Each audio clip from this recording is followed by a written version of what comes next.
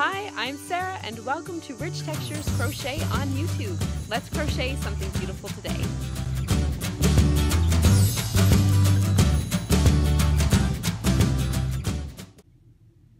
Hello everyone, I'm Sarah of Rich Textures Crochet and welcome. Today we are going to learn how to crochet these easy crochet baby booties such as the ones that you see here. Uh, these are quite adorable little boots. They're made with a super bulky weight yarn. I have used the Thick and Quick by Lion Brand yarn which is a wool blend. Uh, they work up very quickly because of that. The pattern, written pattern can be found for free on my blog at richtexturescrochet.com and I will provide the direct link for you in the notes of this video. As far as your materials are concerned, you're going to need an 8 millimeter crochet hook, a pair of scissors and a yarn needle for weaving in your ends, and a small amount of a super bulky weight yarn. As mentioned, I'm using the Wool-Ease Thick and Quick by Lion Brand, and I'm using two different colors a gray marble and a frosty spruce which is kind of a blue with hint of green in it. And for the boots I have chosen my frosty spruce as the uh, edging and the bottom sole of my boot so you don't need as much of that. It's your color A and your or your color A and you're going to need about 10 yards of that color A the color that you choose for your color B, you're going to need a little bit more. You'll need about 38 yards. And these measurements are for the largest pair of boots, which is for 6 to 12 month old. So of course, if you're working the smaller size, such as the one we will work today, you will need a little bit less, but it doesn't hurt to have a little extra on hand. Once you have all of your materials together, join me uh, back here and we will get started. So this pattern does include three different sizes. It includes a 0 to 3 month old size, which is a 3.5 inch sole, a 3 to 6 month size, which is a 4 inch sole, and a 6 to 12 inch size, which is a 4.5 inch sole.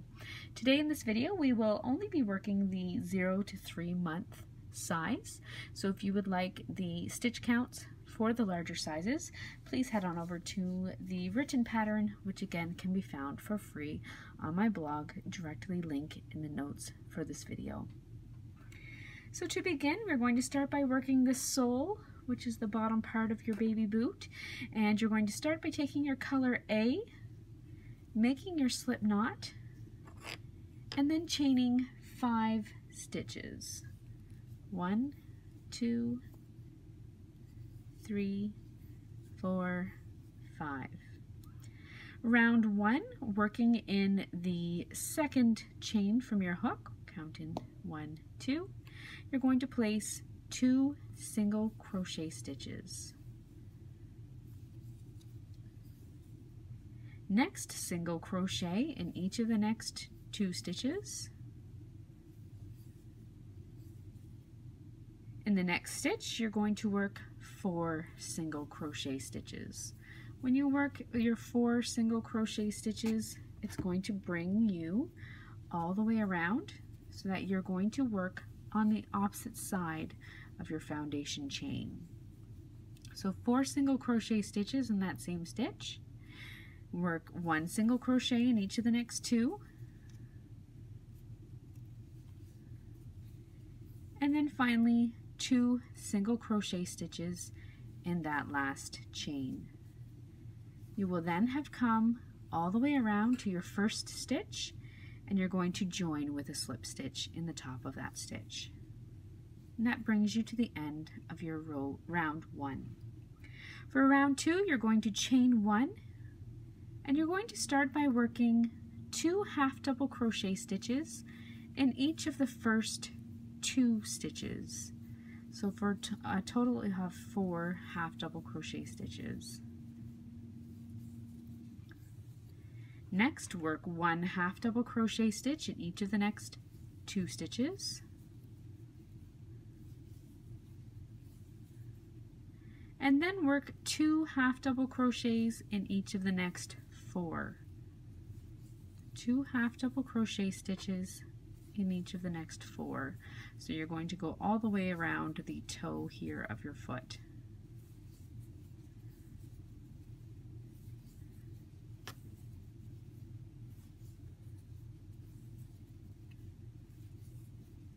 Next work one half double crochet stitch in each of the next two stitches. And then two half double crochet stitches in each of the next and final two stitches. You should then be all the way around back to the heel of your boot where you're going to join with a slip stitch in that first stitch. Once you've made it all the way back around, you're going to fasten off your work and you're going to briefly set it aside. You can repeat that process for your second boot. We are now going to start working the body and the toe of the boot. So what you're going to do is take your sole and you will have the right side of your fabric and then you will have the wrong side of your fabric. And what you're going to want to do is you're going to want to turn it so that the wrong side of your fabric is facing up at you, so the back side. You're then going to take your color B. You're going to find the back of your sole and that's where you would have joined for that final stitch. Sometimes I like to leave that little tail always so that I know where the sole of my boot is. This is the back and then this is where your toe is going to be.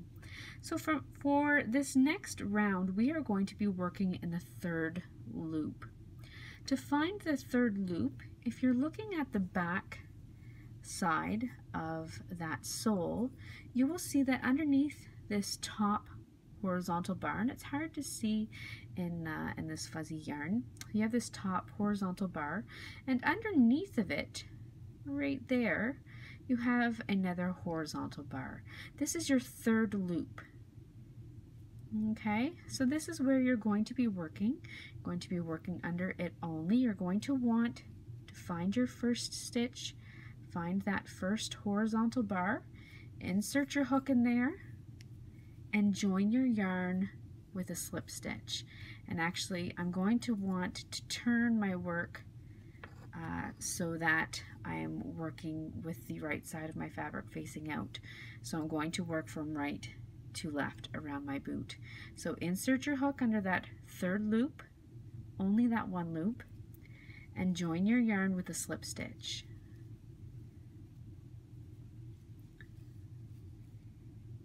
You are now going to work in the third loop all the way around and you're going to single crochet in each stitch all the way around. So if you're working the small size, you're going to have a total of 20 stitches. So just start by working your single crochet stitches.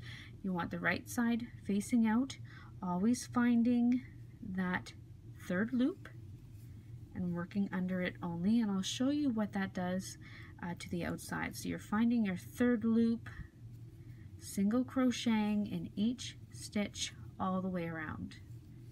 Once you find it the first few times and work, your stitch in there, it's going to be easier for the rest of the way around.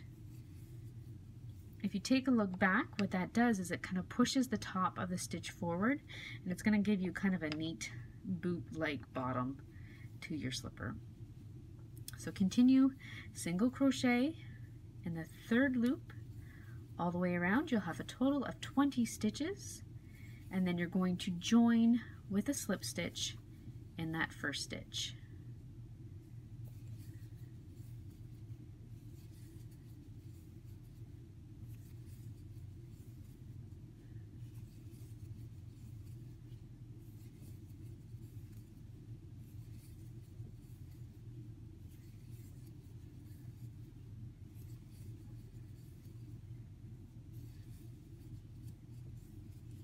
When you reach your first one, join with a slip stitch in the top of that stitch. You are now going to continue working under both loops as you work the rest of the body of this boot. So for round two, you're going to chain one. Do not turn your work. You're always working in the same direction. And you're going to single crochet in each of the next, or each of the first six stitches. So in that same one that you joined in, you're going to work your first single crochet. There's one, two, three, four, five, and six. Next, you're going to half double crochet two together uh, four times.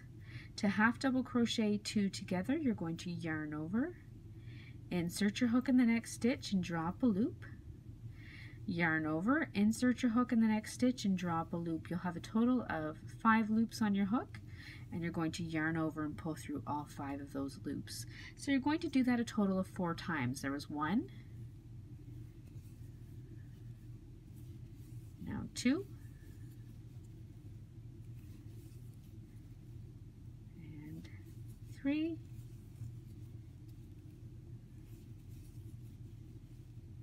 and four. It's going to bring you around the toe of your boot.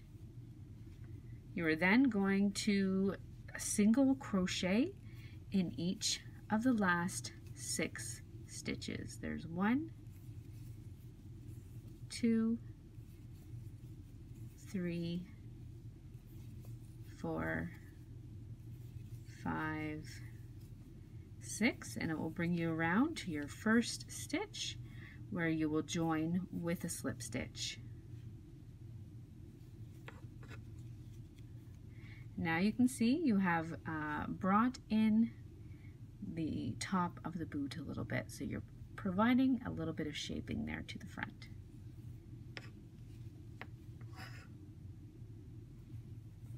For round three, you're going to chain one, do not turn your work.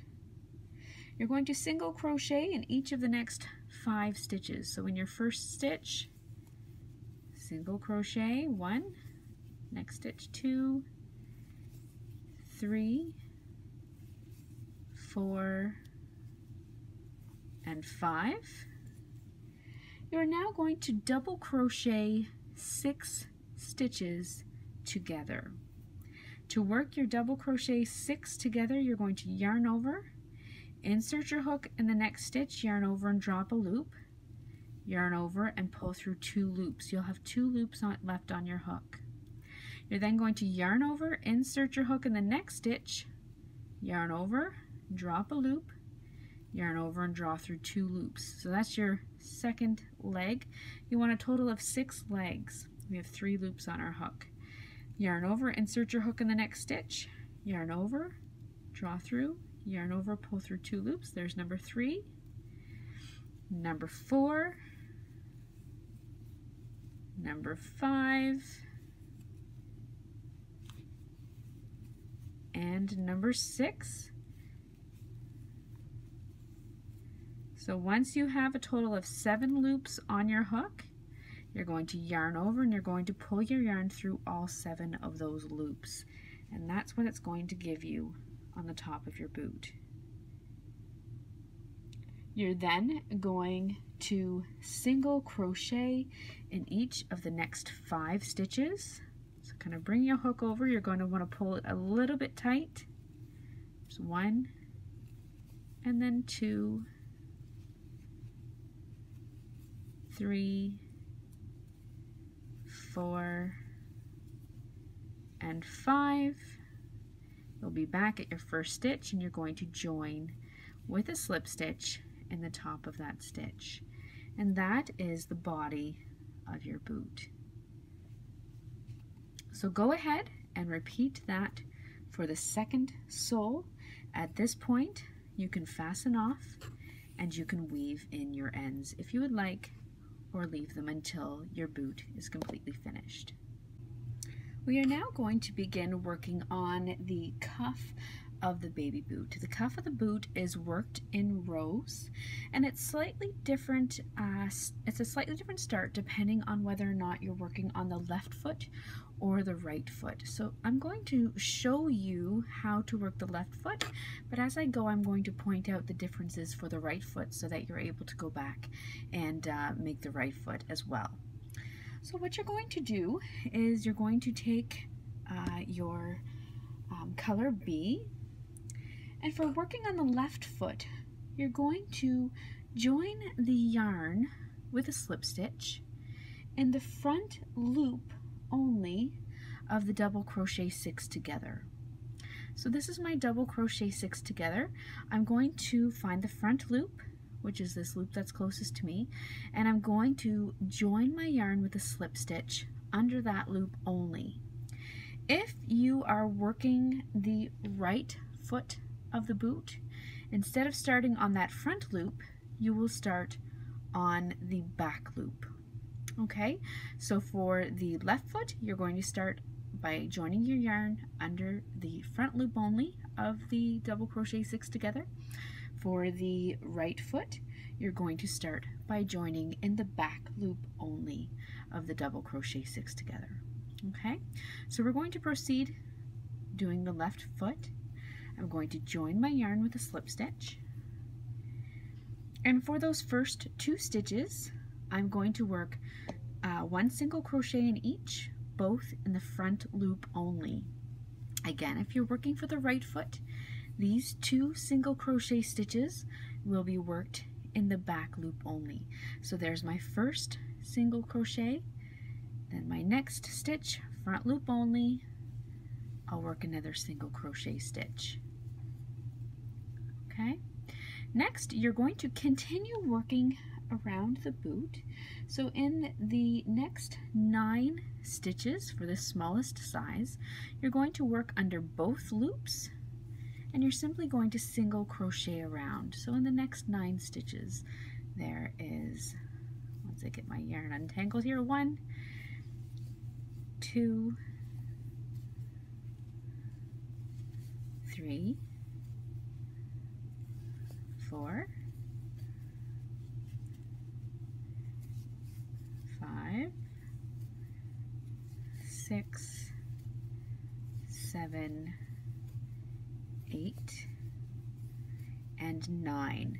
Now that should bring you back around to where you began in the front loop only. After you have single crocheted nine around, you're then going to proceed working in the back loop only of the two that you started with and you're going to work a single crochet stitch. So one single crochet stitch in each of the next two stitches working in the back loop only. If you are working on the right side, um, on the right boot, these last two loops will actually be in the front loop only. If you have any questions, head on over to that written crochet pattern and it is written out there for you. Okay, so these two rows are crossing over one another. That brings you to the end of row one. You're going to chain one, you're going to turn your work, and you're now going to single crochet in each stitch all the way around. You should have a total of 13 single crochet stitches. So simply turn your work, single crochet in each stitch all the way around. This is row two.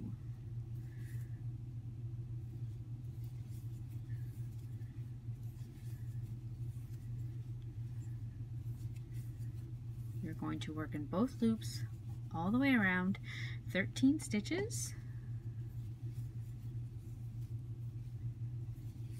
When you come back to your first stitch, you're going to chain one and you're going to turn once again.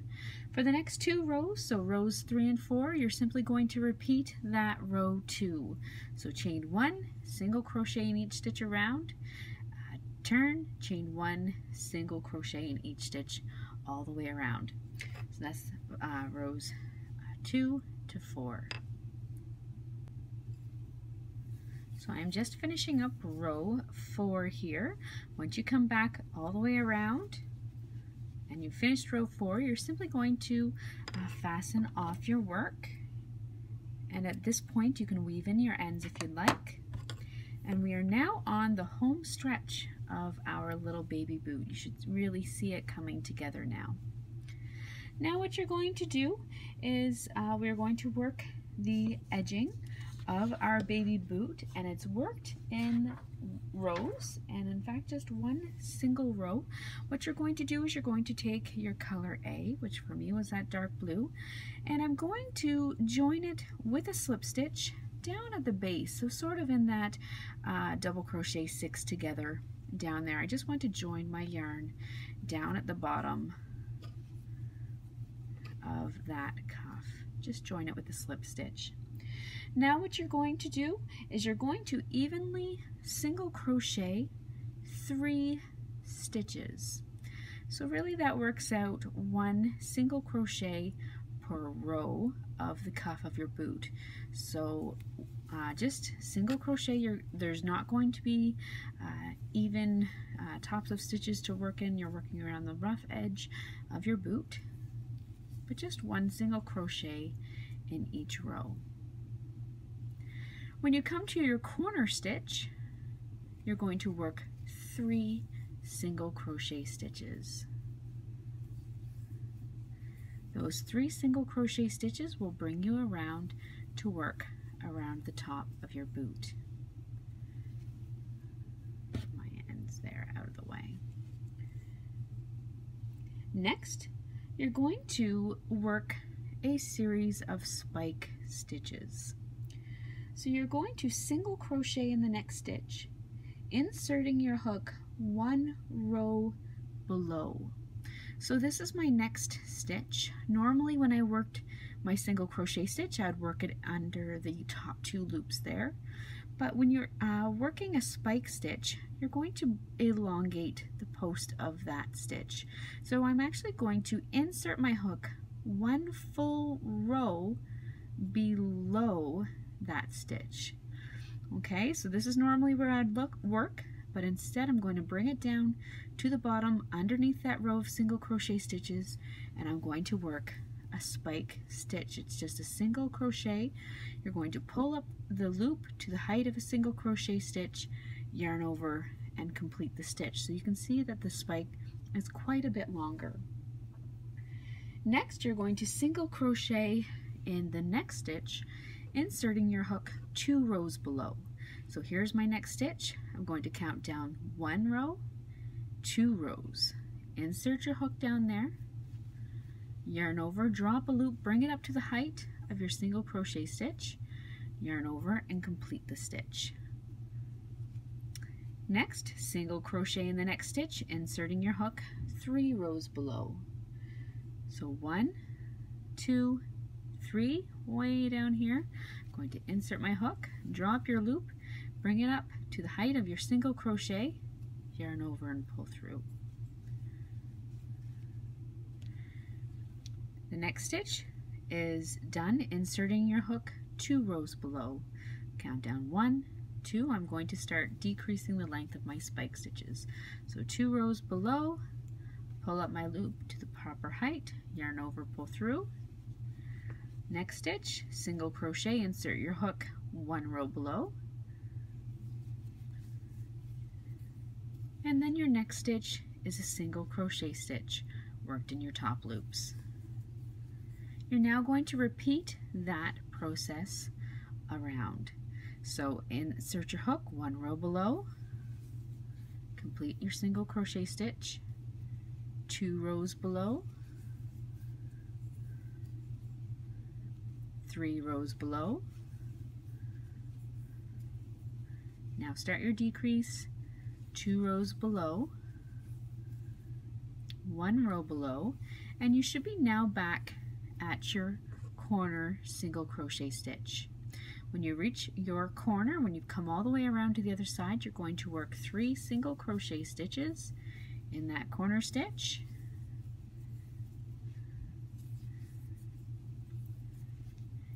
and then work three single crochet stitches down the side of your cuff.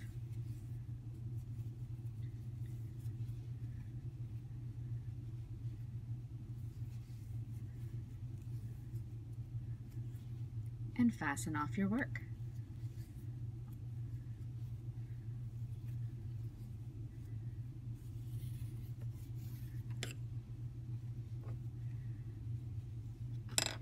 And there you have it. Now you can go back and you can weave in your ends.